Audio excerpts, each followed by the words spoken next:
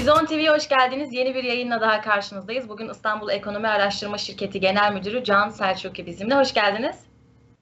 Hoş bulduk. Merhabalar, iyi yayınlar. Teşekkür ederim. Sağ olun. Şimdi bu koronavirüsün e, topluma nasıl yansıdığı ve beraberindeki tartışmaları konuşacağız. Siz geçtiğimiz günlerde bir rapor yayımladınız. Bu raporla alakalı benim merak ettiklerim var. E, onunla hemen başlayayım. Aslında bu yayına hazırlanırken sizinle konuşacak o kadar çok konu varmış ki onu e, anladım. Şimdi sizin bu e, yayımladığınız raporda dikkatimi çeken bir soru var. Soru şu. Bugüne kadar hükümetin koronavirüsle ilgili aldığı önlemleri yeterli buluyor musunuz sorusu.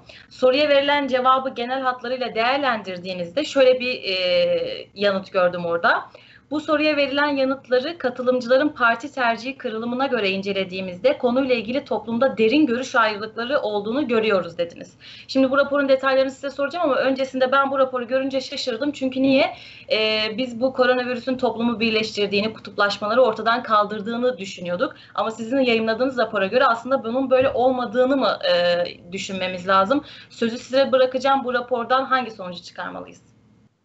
Şöyle bahsettiğiniz e, sorunun sonuçlarına baktığımız zaman Türkiye'nin klasik siyasi ayrışmasının bir yansımasını görüyoruz. Yani bu tip konularda artık e, toplum hakikaten e, memnun mu değil mi'nin cevabını belki bir kısım veriyordur ama önemli bir kısım e, ait olduğu e, siyasi görüşün çizgisinde e, cevap veriyor. Çünkü bunu da anlamak mümkün. Neden?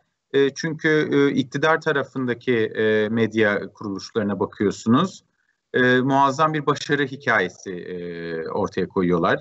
E, hiçbir eksiği olmayan, e, hatta kendi işini halletmiş artık e, yurt dışına e, yardım safhasına geçmiş bir evet. e, pandemi mücadelesi resmi koyuyorlar. E, benzer şekilde ama muhalefet e, yayın kuruluşlarına, muhalif yayın kuruluşlarına baktığınız zaman da hiçbir şey düzgün gitmeyen, e, hiçbir elle tutulur tarafı olmayan, hiçbir başarı donisi olmayan bir pandemi mücadelesi e, fotoğrafı e, ortaya çıkıyor. Dolayısıyla da e, zaten şunu biliyoruz yani seçmen e, yani aynılar aynı, ayrılar ayrı yerde. E, sonuç itibariyle herkes kendi görüşüne yakın sosyal medyayı takip ediyor, e, basın kuruluşunu takip ediyor. Dolayısıyla da görüşler e, bu doğrultuda oluyor. İki şey de doğru değil ama. Yani şu da doğru değil bana soracak olursanız. Eksiksiz bir mücadele e, yürütülüyor. E, kusursuz bir şekilde bu işin içinden çıkacağız. Hayır, artıları var, eksileri var. Daha detaylı konuşuruz. Yandık Neler o artılar, eksiler? Şimdi bu e, dünya çapında e, Covid e, virüsüyle mücadeleye baktığınız zaman iki tip yani mücadelenin iki kanadı e, ön plana çıkar, çıkıyor. Bir tanesi nedir? Kamu sağlığını ilgilendiren işin sağlık krizi. Türkiye gerçekten de şu ana kadar e, gördüğümüz kadarıyla e, Sayın Sağlık Bakanı'nın öncülüğünde e, diğer ülkelere nazaran daha e, yerinde bir e, mücadele e, ortaya koyuyor. Sağlık sistemimizin e, bu işle e, kapasitesinin, bu işle mücadele etme kapasitesinin daha yüksek olduğunu görüyoruz. Ama orada da her şey e, toz pembe mi? Hayır. Orada da mesela e, konuşmadığımız bu vefat sayılarındaki tutarsızlık e, verisi söz konusu. E, en son e, Yılmaz Özil de e, bunu dile getirdi e, sanıyorum bugünkü e, yazısında. Burada açıklanmaya muhtaç bir e, uyumsuzluk var. E, resmi rakamlarla, açıklanan resmi rakamlarla yani Covid sebeple e, ölümlerin sayısıyla toplam vefatlara baktığınızda ve de bunu geçmiş yıllarla kıyasladığınızda bir artış olduğu gözüküyor. Bunun nereden kaynaklandığının e, açıklanması lazım. Ama bunu bir kenara bırakırsak genel olarak baktığınızda e, Türkiye bu işin kamu sağlığı krizi tarafıyla e, diğer ülkelere nazaran daha iyi mücadele etmiş gözüküyor. E, işin artı tarafı bu. Şimdi iki tarafta değerlendirmek lazım dedim. İşin bir sağlık krizi var ama işin bir de kaçınılmaz olarak ekonomik e, kriz tarafı var ve de ekonomik kriz tarafı aslında sağlık krizi tarafından daha uzun sürecekmiş gibi gözüküyor. Yani şu anda Türkiye'deki rakamlar bize gösteriyor ki işte nedir? Haziran sonu, Haziran pardon, Haziran başı, Haziran ortası gibi e, Türkiye'de e, hayat e, normale hayatın normale dönmesi için bir takım adımlar atılacakmış e, gibi düşünüyoruz. Öyle yani kamudan gelen e, mesajlar da e, o yönde. Ama tabii ki de bunun ekonomik etkisi e, çok daha uzun sürecek. İki sebeple çok daha uzun sürecek. Birincisi bizim Türkiye'de buna ekonomik açıdan nasıl tepki verdiğimiz. İkincisi de tabii bizim elimizde olmayan şeyler de var. Bütün dünyada e, talep durmuş vaziyette. Bütün dünyada e, üretim e, durmuş vaziyette. E, Türkiye'de e, uzayda tek başına yaşayan bir ülke değil. Ekonomisi dışarıya e, ticaret ağlarıyla, finansman e, kaynakları bakımından çok bağımlı bir ülke. Dolayısıyla dışarıdaki e, toparlanmayla birebir e, ilgimiz var bizim toparlanmamızın. Örneğin Şimdi Haziran'da biz e, açılabiliriz tekrar. E, çok olumlu bir gelişme olur. Ama Rusya açılmadığı sürece demek ki 2019 yılında gelen 7 milyon Rus turist bu yaz Türkiye'ye gelemeyecek anlamına geliyor mesela. Turizm sektörümüz açısından e, çok önemli bir risk. Şimdi e, işin sağlık tarafını konuştuk. Ekonomi tarafına geldiğimizde bir küresel tarafı var bir de Türkiye tarafı var. Şimdi Türkiye zaten bu krize yani pandemiden kaynaklı ekonomik sorunların e, yarattığı krize zaten zor bir dönemde yakalandı.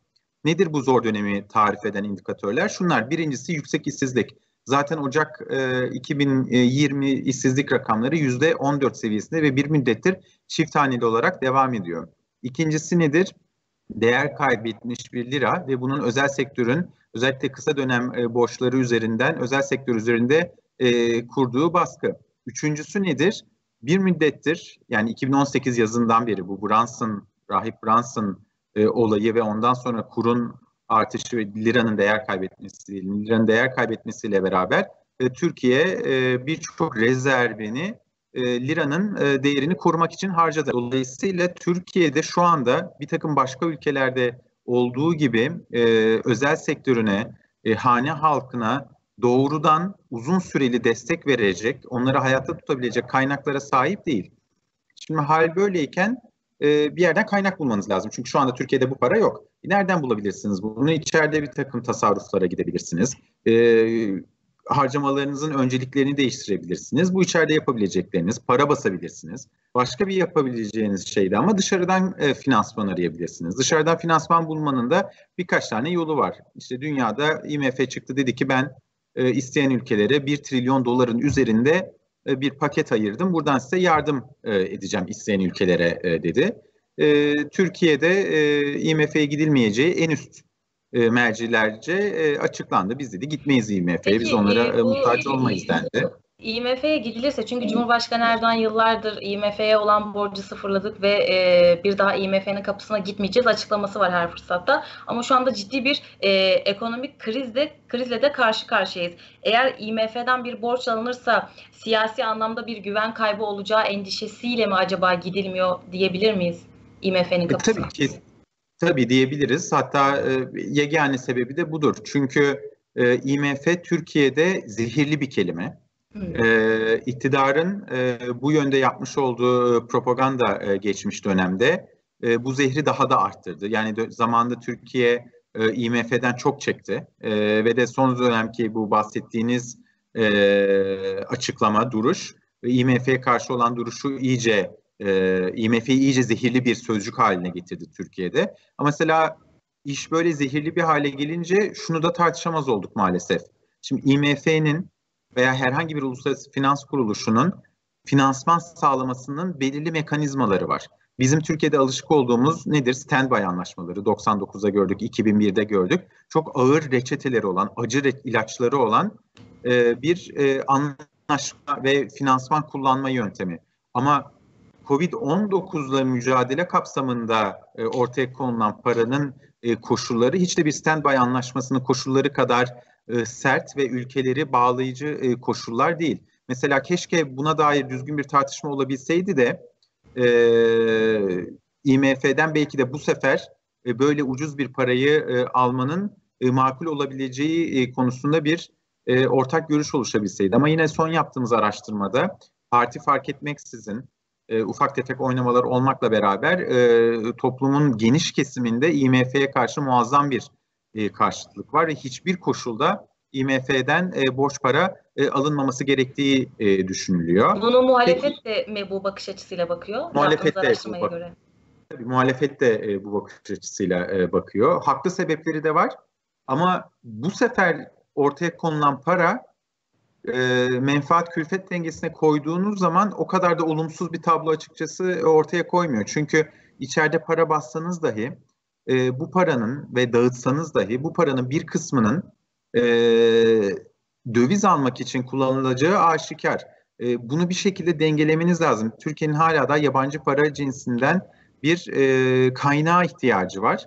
E, IMF de olmayınca bu sefer e, hazinemizin e, Amerikan hazinesiyle bir swap hattı üzerine e, pazarlık yaptığına dair e, artık dedikodular değil bilgiler var. E, ama hı hı. bunlar da e, bu tip görüşmeler maalesef sadece ekonomik görüşmeler olamıyor.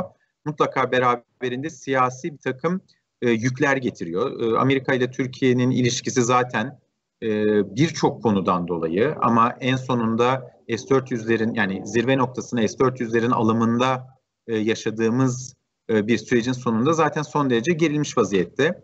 E, ve de şunu biliyoruz yani Amerika içerisinde e, karar vericiler arasında, kurumlar arasında e, Türkiye'ye e, koşulsuz olarak bir swap hattı e, açılmasına karşı olan e, birçok e, unsur olduğunu da e, biliyoruz.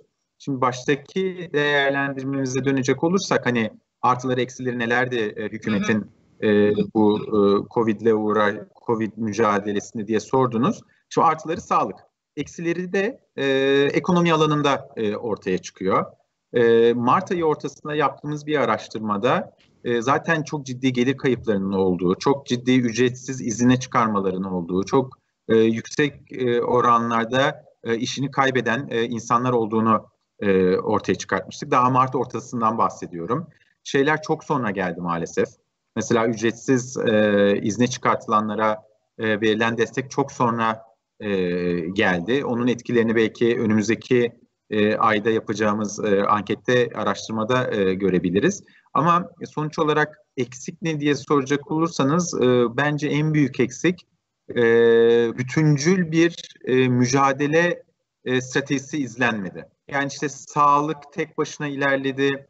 Bunun bir örneği mesela e, artık 3 hafta mı oldu, 4 hafta mı oldu? İlk sokağa çıkma yasağı ilanını duyduğumuz o cuma akşamı yaşanan panikti mesela. Ona baktığınız zaman ortada böyle dört başı mamur bir strateji e, görmüyorsunuz açıkçası. Ayrı ayrı birimlerin e, kendi bünyeleri içerisinde verdikleri bir e, mücadele olduğunu İstifaya görüyoruz. kadar gitti süreç. İstifaya kadar gitti süreç. Tabii onun e, kuşkusuz e, çok politik bir yanı da vardı. Yani İçişleri Bakanı istifa ederse tabii ki de bir e, politik yanı olacaktır. Oraya kadar gitti ama bir e, koordinasyon sıkıntısı olduğunu görüyoruz. Ee, yani siz bu koronavirüs sürecini toplumda sadece sağlık, ekonomi anlamında değil de bir bütün olarak değerlendirip ve bir bütün olarak hareket edilmesi gerektiğini ifade ediyorsunuz. Ee, herhalde yani benim düşüncem toplumun e, tek noktada birleştirdiği ya da sizin bu anketinize göre baktığımızda e, toplumun tek güvendiği kişi Sağlık Bakanı diye bir sonuç çıkarıyorum ben oradan. Öyle bir izlenim var mı? Neler söylersiniz?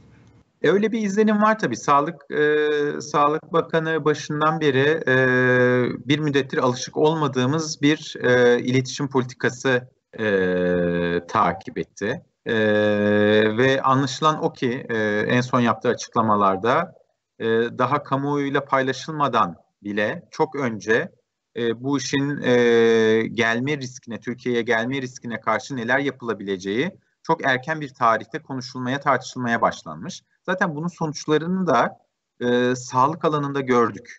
E, mesela şunu söylemek mümkün. E, Mart ortası yaptığımız araştırmada e, katılımcılara ne kadar e, endişelisiniz diye sorduğumuzda, koronavirüsten ne kadar endişelisiniz diye sorduğumuzda %50'si e, endişeliyim veya çok endişeliyim cevabı veriyordu. Sonra Nisan başında yaptığımızda bu oran %70'e çıktı. Aradaki en büyük etken neydi? En büyük etken şuydu. Bir çarşamba günü e, Sayın Sağlık Bakanı'nın yaptığı rutin basın açıklamalarında ortaya koyduğu Türkiye haritası ve her ilde e, açık bir şekilde e, kaç tane e, işte enfekte hasta olduğu, kaç tane test yapıldığı, kaç tane entübe hasta olduğu bunlar açık bir şekilde kondu ve o şeyden sonra, o açıklamadan sonra yapmıştık e, Nisan araştırmamızı yanlış hatırlamıyorsam 4-5 e, Nisan olması lazım. Yani 5-6 Nisan endişe seviyede çok ciddi bir artış oldu. Yani e, yürütülen sürekli ve şeffaf iletişim e, bireylerin durumu aciliyetini idrak etmesine çok büyük katkısı oldu. Ama ondan sonra ne oldu? Şimdi Nisan'ın ortasında yaptığımız araştırmada endişe seviyesinin tekrar %50 seviyelerine geldiğini gördük. Sebebi bana soracak olursanız işte başta söylediğim bu vefat sayılarındaki, ölüm sayılarındaki tutarsızlık. İkincisi de internette, sosyal medyada, farklı basın kuruluşlarında o kadar çok e, abiyane tabirle tepesi delik laflar dolanıyor ki e, bu karmaşada insanların e, rakamlara olan e, güveni, güveni sarsılıyor. evet, çok fazla evet. bilgi kirliliği var sosyal medyada. E, bu endişedeki düşmenin nedeni e, birincisi e, bazı tutarsız açıklamalar olarak ifade ettiniz. E, diğeri de şey olabilir mi? Şimdi sizi söyleyince e, aklıma geldi. E, giderek e, aşağı doğru eğilen bir tabloyla karşı karşıyayız. Bu da endişeyi düşürmüş olabilir mi acaba vatandaşta?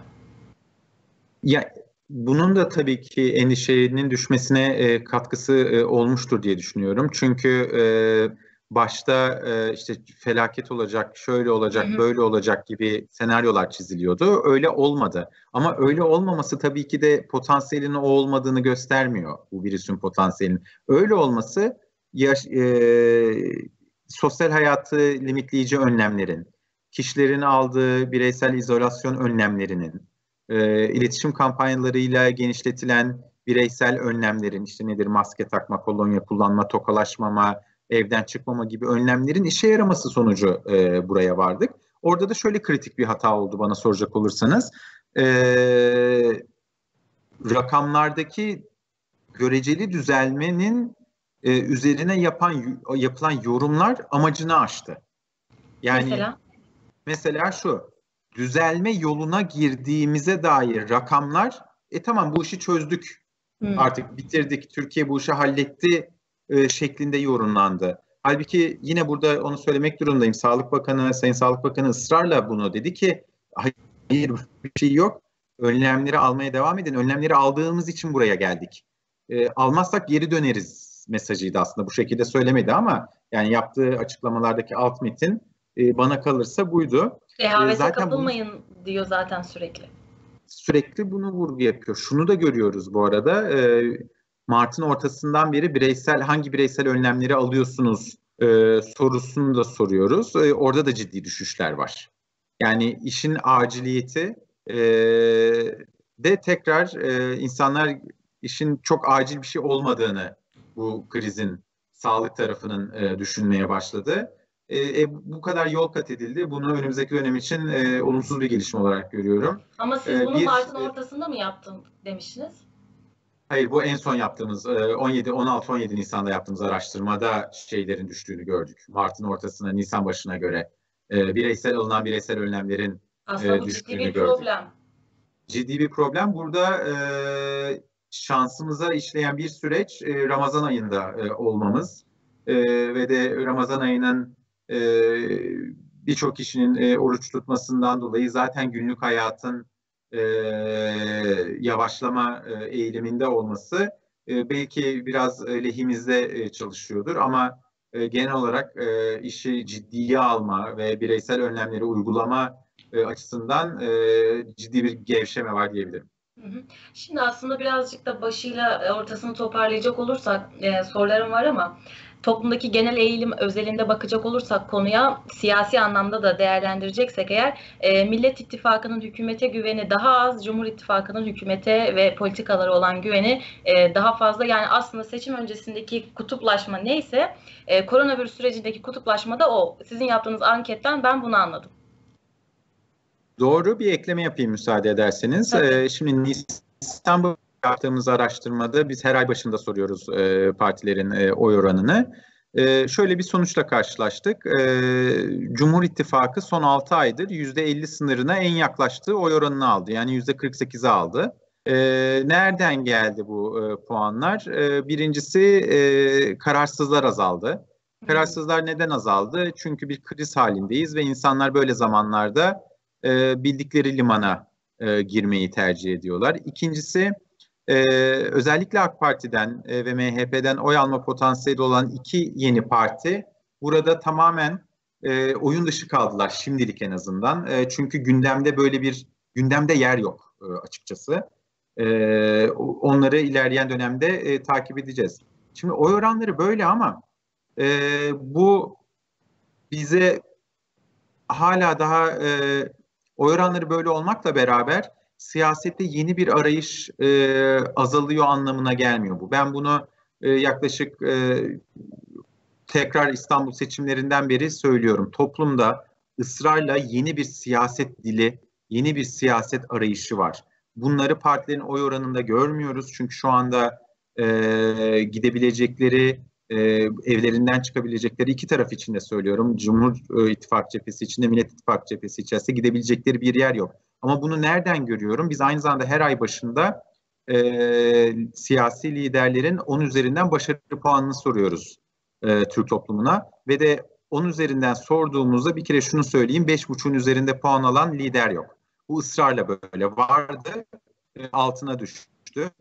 Ve de e, Sayın Bahçeli dışında Nisan ayında başarı puanını artırabilen lider olmadı. Bütün liderlerin puanı düştü. Sayın Erdoğan'ın, e, İmamoğlu'nun, e, Mansur Yavaş'ın. E, bu bize neyi gösteriyor? Toplum siyasetin çözüm bulma kapasitesine olan inancını kaybediyor.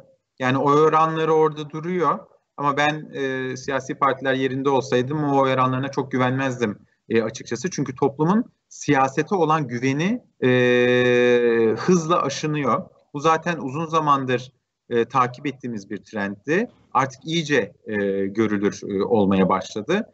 Dolayısıyla e, mevcut durumu hani sadece partilerin siyasi e, oy oranı üzerinden değil bir de böyle e, değerlendirmekte fayda var diye düşünüyorum. Devlet Bahçeli'nin oy oranı e, neden arttı onu merak ettim açıkçası. Ee, Liderler bazında düşününce. Yani puanı neden arttı? Şöyle, e, çünkü e, Sayın Devlet Bahçeli içerisinde bulunduğu ittifakın e, ortağı olarak e, kendi kitlesinin, e, kendi seçmen kitlesinin e, talep ettiği birçok şeyi e, uygulamaya e, koyabiliyor. Hmm. E, dolayısıyla e, puanı arttı ama mesela 10 üzerinden e, 6-7 olur mu? Bu şekilde olması çok mümkün gözükmüyor ama kendi kitlesi bakımından e, başarılı bir siyasetçi. Çünkü oranın taleplerini e, içinde bulunduğu ittifak e, dahilinde yerine getirebilen bir e, siyasi lider. Evet. E, aslında buradan güzel bir yere bağlayacağım çünkü e, bu röportajı hazırlanırken bir araştırma dikkatimi çekti. E, telaffuzumda hata olabilir. E, izleyenlerimiz de kusura bakmasın. Şimdi Gallup International diye bir araştırma, e, Gallup International bir araştırma yapıyor. Bu araştırmaya göre ulusal hükümetlere güven artıyor bu Covid-19 sürecinde. E, insanların üçte ikisi korktukları için hükümetlerine ve liderlerine olan e, insanların güveni artıyor. E, aslında birazcık da siz bunun özelinde e, değerlendirmiş oldunuz ama ben genel hatlarıyla sorayım bu Covid-19 e, ülke liderlerine güveni arttırdı mı? Mesela Almanya e, lideri Merkel çok fazla ön plana çıkıyor. E, ama aslında dönüp baktığım zaman röportajın başına gidecek olursam ekonomi ne kadar iyiyse zaten ülke liderine olan güven de o kadar e, artıyor gibi oluyor. Yine aslında en temel nokta ekonomiye dönüyoruz ama ben yine sözü size bırakayım. Siz de bu araştırmaya güvenir misiniz? E, katılır mısınız? E, liderlere olan güven arttı mı? Hem güvenirim hem katılırım. Şöyle yani Gallup zaten e, yaklaşık 80 yıldır e, var olan ve e, bu işleri neredeyse e, icat etmiş bir e, şirket. E, Amerika e, menşeli yanlış bilmiyorsam. E, liderlere güven arttı. Ama şunu görmek lazım. Şimdi İtalya'da bile arttı. Bakın İtalya e, Avrupa'da e, herhalde bu krizi en ağır geçiren e, şeylerden bir tanesi, ülkelerden bir tanesi. İtalya'da bana soracak olursanız artma sebebi lidere olan destek.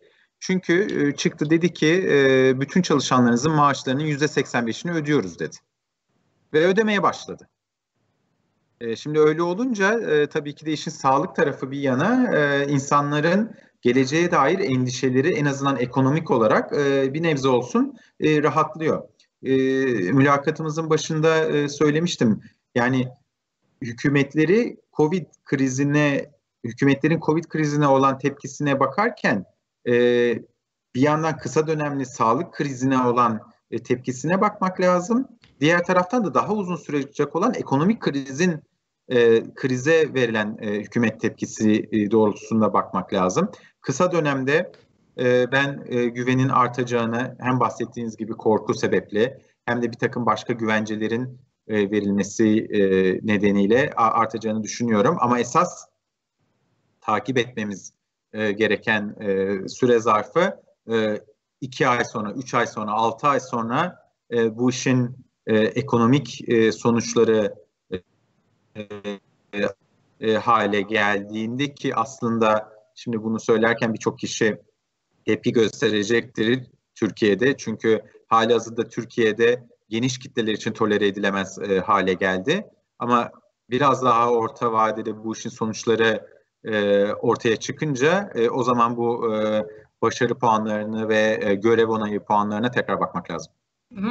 Bu salgınla mücadelede e, sağlık kadar ekonominin de aslında ne kadar paralel olduğunu görmüş oluyoruz. Çünkü dediğiniz gibi İtalya sağlık sisteminde ciddi bir çöküş yaşıyor ama diğer tarafta ekonomik anlamda verdiği desteklerle lideri olan güven artıyor. E, Türkiye'ye baktığımız noktada ise sağlık sağlık bu kadar iyiken e, sizin yaptığınız ankete göre lideri olan e, oran yani güvende bir düşüş mü hakim?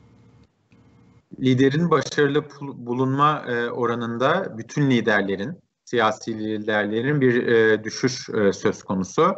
Şuna bağlıyorum, tekrar edeyim. Türkiye'de toplumun siyasetin çözüm üretmek kapasitesine ve niyetine hatta olan inancı zayıflıyor. Siyaset kurumunun kendisi için çözüm üreteceğine toplum inanmıyor artık ve bu trend hızlanarak artıyor. Çünkü şunu da söylemek lazım e, çok ciddi bir sağlık krizinin e, ortasında e, hiç olmayacak siyasi siyasi mücadeleleri izliyoruz.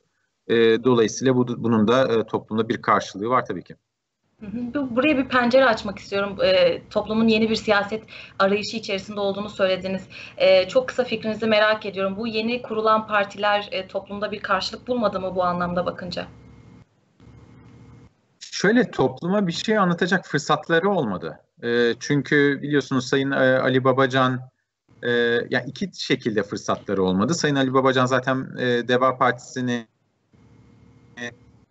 e, Türkiye'de ilk e, vaka açıklandı. Ya ertesi günü ya bir sonraki gün ve ondan sonra e, bütün e, haber e, bültenleri, bütün ilgi, bütün odak e, Covid e, ile alakalı e, konulara döndü. Evet. Ama ikinci sebep de tabii şu bir gerçek. Türkiye'de şu anda e, ana akım medyanın veya geniş kitlelere ulaşmaya yarayan medya kuruluşlarında yeni partiler için yer bulmak kolay değil.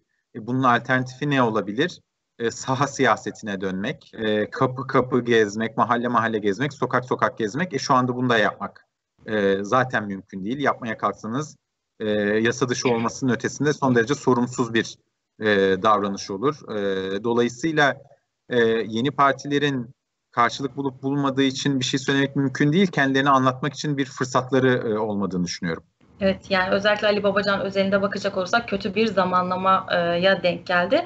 E, bu partilerle alakalı son bununla da alakalı fikrinizi merak ediyorum. Çünkü e, özellikle geçtiğimiz günlerde e, terör örgütü elebaşı Abdullah Öcalan'ın bir telefon görüşmesi e, çok konuşuldu ve bu da beraberinde Aa, acaba erken seçim mi başlayacak? Çünkü daha önce e, Öcalan'ın mektubunun okunması seçim döneminde tartışmaları beraberinde getirmişti. Bir erken seçim öngörüyor musunuz? Böyle bir ihtimal söz konusu olur mu? Ee, hayır. Şöyle ki, e, öncelikle Öcalan'ın e, mektubunun e, okunması e, iktidar için kötü bir tecrübedir. Yüzde beş olan e, oy farkını e, iki gün içerisinde Sayın İmamoğlu lehine yüzde ona çıkartmıştır. E, bunu araştırmalarımızdan çok net e, görebiliyoruz. E, ikincisi de e, şu anda Türkiye'de e, seçim yapmak için e, gerekli e, koşullar yok. Seçim kararını sonuçta e, hukuki olarak verebilecek merci var. Pardon. Bir tanesi Sayın Cumhurbaşkanı, diğeri de meclis. Ama hı hı. mecliste de e, çoğunluğa ihtiyacımız var. E, daha doğrusu e, yani çoğunluğun basit çoğunluğun üzerinde e, üçte iki e, çoğunluğa ihtiyacınız var, e, oy oranına ihtiyacınız var. E, bunun için de e, bir kere zaten Cumhur İttifakı'nın e, bunu e, öncelikle istiyor olması lazım. O da zaten Sayın Erdoğan demediği sürece e, gerçekleşebilecek bir koşul değil. Dolayısıyla şu anda Türkiye'de e, erken seçime karar verebilecek tek merci var. E, o da Cumhurbaşkanı e, Tayyip Erdoğan. Şimdi onun perspektifinden baktığımızda hiçbir parametre bize e, erken seçim yapmak için rasyonel bir e, ortam olmadığı olduğunu göstermiyor. Hemen e, tekrar edeyim. İşsizlik yüzde 14. E, e, Covid'in getirdiği ekonomik sonuçların ağır bedelleri oluyor ve bir müddet bunların e, devamı da gelecek. Çünkü Türkiye bunlardan tamamen kendini koruyacak e, güce sahip değil, ekonomik güce e, en azından sahip değil. Ve sonuncusu da tekrar edeyim, Nisan ayında yaptığımız araştırmada son 6 aydır e, Cumhur İttifakı ilk defa %50 e, sınırına bu kadar yaklaştı. Bundan önce e, 43-46 bandında e, gidip geliyordu. Dolayısıyla %50'ye de e, erişme garantisi e, ortada yok. E, dolayısıyla bütün bunları bir araya getirdiğinizde e, Sayın Erdoğan'ın e, bir e, erken seçim kararı alması için e, rasyonel bir sebep göremiyorum. Evet zaten bu dönemde bunu tart bu zeminde bunu tartışmak da herhalde e, sağlıklı olmaz diye düşünüyorum. Çok teşekkür ederim. Ağzınıza sağlık. Ben teşekkür ederim. İstanbul Ekonomi Araştırma Şirketi Genel Müdürü Can Selçuk ile birlikteydik. Koronavirüsün hem topluma yansımasını hem de ekonomiye yansımasını genel hatlarıyla değerlendirdik. Bence çok keyifli bir sohbet oldu. Tekrar teşekkür ediyorum. Görüşmek üzere. Kendinize İyi çok akşamlar. iyi bakın. Sağlıkla kalın. Hoşçakalın.